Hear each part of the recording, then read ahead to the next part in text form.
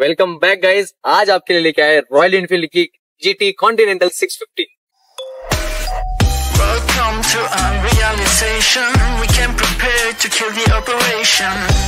आज आपके लिए जैसे कि आपने तुमने देख लिया होगा फिर भी कह देता हूँ Continental G T six fifty है। रॉयल इनफील्ड की बाइक है। इंटरसेप्टर के पहले लॉन्च की गई थी। इसके बाद में जो इंटरसेप्टर आई थी, कुछ थोड़े से कॉस्मेटिक चेंजेस है। डिस्कस करेंगे इंटरसेप्टर की एक स्पेशल वीडियो अगर आपको चाहिए होगा तो कमेंट में देना, वो भी बताएँगे। बाप बाइक के सीधे सीधे स्टार्ट करते हैं बाइक के इंजन के साथ में। बाइक के अंदर आता है सिक्स फोर्टी एट सीसी का twin cylinder liquid cooled engine six speed का गियर बॉक्स है वन डाउन फाइव अप के साथ में आता है। और ये पावर प्रोड्यूस करता है फोर्टी सेवन बी की और टॉर्क प्रोड्यूस करता है फिफ्टी टू न्यूटन मीटर की। अब बात करते हैं इसके इंजन के एक्सपीरियंस के बारे में। राइड में बताएँगे, बेशक काफ़ी पावरफुल बाइक है। बिल्कुल रॉ पावर देती है। ऐसा आपको बिल्कुल थ्रोटल देने के बाद में लैक फील नहीं होगा, कुछ फील नहीं होगा। हीट काफ़ी फील होगी। ये बिल्कुल बात करेंगे गाड़ी के रिव्यू के अंदर। गाड़ी के अंदर तीन वेरियंट आते हैं। तीनों वेरियंट्स के बारे में बात करेंगे। तीनों वेरियंट्स के कलर कौन से कौन से अवेलेबल है? तीनों वेरिएंट्स में। प्राइसिंग क्या है? वो सब आपको बताएँगे। बाइक के सबसे पहले वेरिएंट के बारे में अगर बात करें तो बेस मॉडल भी इसके अंदर ऐसा है कि कोई बेस मॉडल नहीं, कोई टॉप वेरिएंट नहीं, सिर्फ़ कुछ स्पेसिफिकेशन की चेंज है और कलर के हिसाब से कुछ प्राइसिंग का चेंज है। उसका पूरा मैं एक चार्ट बना के आपको दे दूँगा। अभी बात करते हैं बेसिक वेरियंट की अगर बात करें तो फीचर्स में कोई भी चेंज नहीं होता है गाइज़ ये एक बात दिमाग में पकड़ लो. कोई चेंज नहीं होता है बेसिक और ये जो टॉप है अपने पास, इसमें कोई भी फीचर में चेंज नहीं होता. कलर ऑप्शन दो आते हैं, जिसे हम बेस वेरियंट कहते हैं, जो थोड़ा सा प्राइस में इनसे सस्ता है. उसके अंदर आता है हमें रॉकेट रेड और आता है ब्रिटिश ग्रीन कलर जो कि मैं फ़ोटो डाल दूँगा आपको कैसा दिखता है। तो अब सेकंड वेरिएंट के बारे में अगर बात करें तो अगर मुझसे पूछो पर्सनली तो मुझे सेकंड वेरिएंट इन दोनों वेरिएंट से ज़्यादा बेहतर लगता है। क्यों? उसके बारे में बताएँगे। आपको बात करते हैं तो कलर वेरिएंट से स्टार्ट करते हैं। इसके अंदर आता है ducks deluxe white second variant की बात करें। डक्स डिलक्स व्हाइट आता है। उसके बाद में गाड़ी के अंदर आता है एपेक्स ग्रे उसके बाद में तीसरा वेरियंट मतलब तीसरा कलर जो मिलता है गाड़ी के अंदर, वो है स्लिप स्ट्रिप ब्लू कलर आता है। ठीक है, ये तीन कलर में आता है। सेकंड मॉडल आप बीट मॉडल पे कह सकते हो। अब इसके अंदर और कुछ कॉस्मेटिक चेंजेस किए गए हैं तो क्या है? तो सबसे अच्छी बात अगर इसमें दी गई है तो ट्यूबलेस टायर्स दिए गए हैं सेकंड वेरिएंट के अंदर।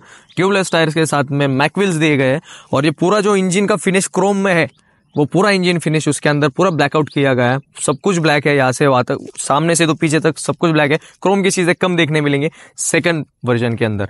आप करते हैं टॉप वेरिएंट की, यानी जो यहाँ पे आपके सामने अभी खड़ी है बाइक ये है टॉप वेरिएंट इसका जो कलर का नाम है, वो है मिस्टर क्लीन एक्चुअल में मिस्टर क्लीन इसलिए कहा गया है क्योंकि क्रोम इतना दिया गया है बाइक के ऊपर कि उसे क्लीन करना ही पड़ता है। तो जो क्लीन करता है, उसे मिस्टर क्लीन कहा जाता है। मिस्टर क्लीन नाम से आता है।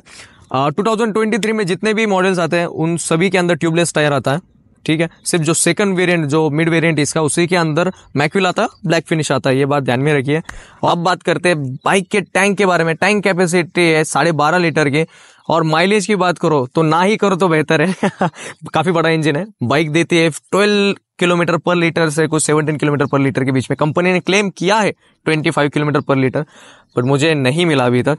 काफ़ी देर से चला रहे बाइक को, इतना नहीं देती है माइलेज बाइक ठीक है? अब बात करते हैं गाड़ी के वॉक अराउंड के बारे में, देखते हैं क्या क्या चीज़ें है गाड़ी के अंदर। तो गाइस फ्रंट से अगर गाड़ी की बात करें तो गाड़ी के अंदर सिर्फ़ हेडलाइट जो आती है, वही एलईडी में आती है। बाकी जितने भी लाइट्स है गाड़ी के अंदर, वो सब कुछ हेलोजन में दी गए इंडिकेटर्स भी हेलोजन में है टेल लैम्प भी हेलोजन में पीछे वाले इंडिकेटर्स भी हेलोजन में सिर्फ़ जो लाइट है, वही आपको एलईडी में मिलती है फ्रंट वाली। फ्रंट में ड्यूअल टेलीस्कोपिक सस्पेंशन मिलता है। गाड़ी के अंदर ड्यूअल चैनल एबीएस है। फ्रंट में अगर टायर की बात करो तो फ्रंट में टायर का साइज़ आता है नाइन्टी हंड्रेड आर एटीन और चलते चलते ये है सिक्स फिफ्टी सी सी का इंजन पूरी क्रोम प्लेटिंग है, पूरे टैंक के ऊपर। बीच में स्ट्रिप छोड़ दिए तो। दोनों तरफ़ से ड्यूअल साइलेंसर्स दिए गए हैं बाइक के ऊपर। पीछे टेल लैम्प में। हेलोजन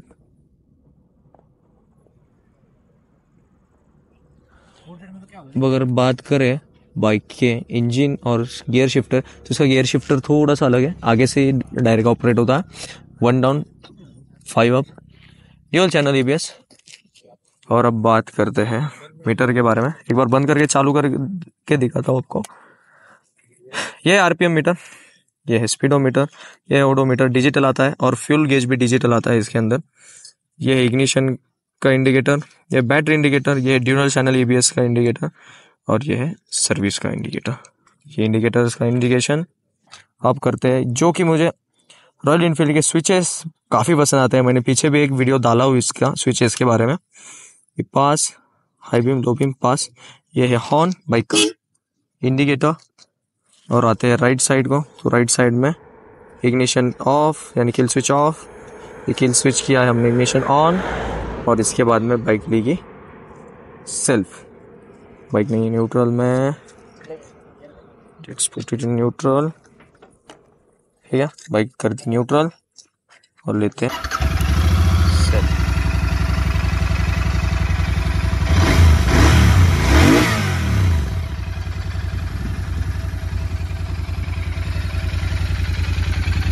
ये बाइक का ओवरव्यू अब लेते हैं बाइक का एक राइड एक्सपीरियंस उसके बाद में मिलते हैं कंक्लूजन में।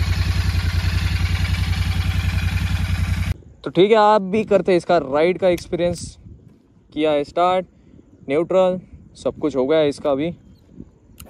पहले दिया इग्निशन इग्निशन हुआ कंप्लीट ये एक्सीलरेटर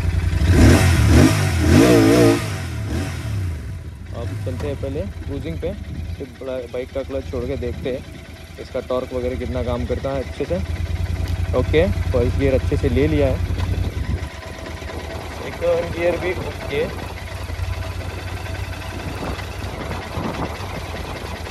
और थर्ड गियर में थोड़ी सी तकलीफ़ बट ओके अच्छे से ले रहा है। अब देखते हैं ज़ीरो टू सिक्सटी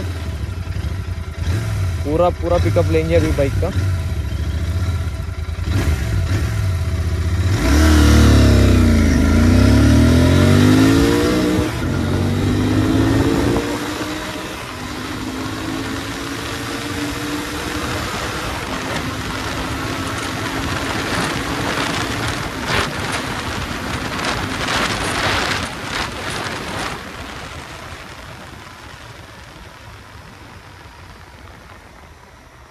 गाइस बहुत ही ज़बरदस्त पिकअप है।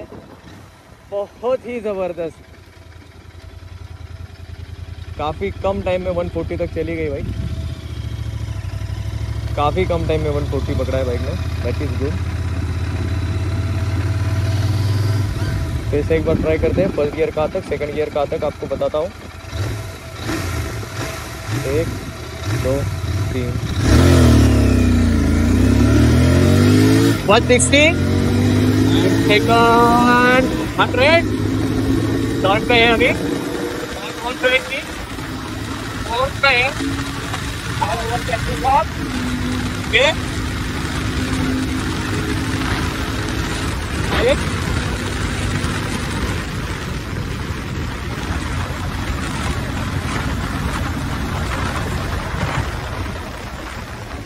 काफ़ी ज़बरदस्त ड्यूल चैनल एबीएस होने की वजह से गाड़ी की ब्रेकिंग काफ़ी सॉफ्ट है।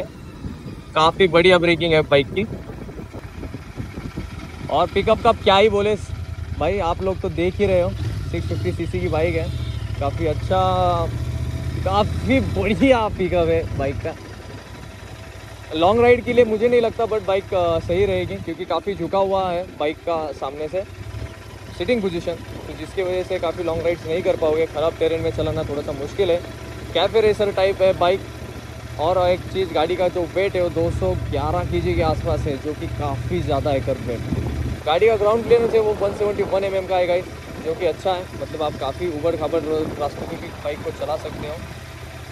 यही था फिर रॉयल इनफील्ड का। आप देखते हैं कंक्लूजन में मिलते हैं और बताते हैं गाड़ी के बाकी की चीज़ों के बारे में। तो अभी आपने राइड एक्सपीरियंस देख लिया है बाइक का। काफ़ी ज़्यादा पावर है बाइक के अंदर। 650 सीसी होने के बावजूद काफ़ी ज़्यादा पावर है। ठीक है, अब गाड़ी की बात करते हैं। फ़र्स्ट गियर में 60 प्लस चली गई। सेकंड गियर में 100 प्लस चली गई। थर्ड गियर में 120 प्लस चली गई। काफ़ी बढ़िया पावर है। इतना ज़बरदस्त पावर डिलीवरी बाइक का। आप जब चलाओगे, मज़ा आ जाएगा। मैं स्पेशल थैंक्स कहना चाहूँगा शार्दुल भाई को। शार्दुल भाई ने उनके गाड़ी के ऊपर हमें शूट करने का मौका दिया। और गाइज़ और एक बात कहना चाहूँगा, हम ये जितने भी गाड़ियों के राइड एक्सपीरियंस आपके साथ शेयर करते हैं एक कंट्रोल्ड एनवायरनमेंट में होता है। ये रोड पूरा खाली होता है। तो आप अगर ऐसे कोई वीडियोस बनाना चाहते हो तो प्लीज़ सब कुछ देख के बनाइए। और हम पूरे सेफ्टी इक्विपमेंट्स पहन के ये सारी चीज़ें करते हैं। अब बात करते हैं गाड़ी कुछ इश्यूज़ के बारे में जो मुझे लगा। वो था थोड़ा सा हीटिंग इशू है बाइक के अंदर, पर कोई दिक्कत नहीं है। इतना बड़ा इंजन होने के बाद इतना अच्छी चीज़ तो हम एडजस्ट कर ही सकते हैं। पूरे वेरियंट्स की पूरी प्राइसिंग एक शोरूम में इधर डाल दूँगा, आपको देख लीजिएगा। ऑन रोड सब तरफ़ वेरी करती है। अगर आप बाइक लेना चाहते हो, कोई क्वेश्चन है आपके बाइक के रिगार्डिंग तो कमेंट सेक्शन में ज़रूर पूछना। बाइक कैसे लगी, ये भी बताना। लाइक शेयर सब्सक्राइब कर देना इंस्टाग्राम पे फॉलो भी करना। नेक्स्ट वीडियो जल्दी करते हैं अपलोड तब तक के लिए बाय बाय So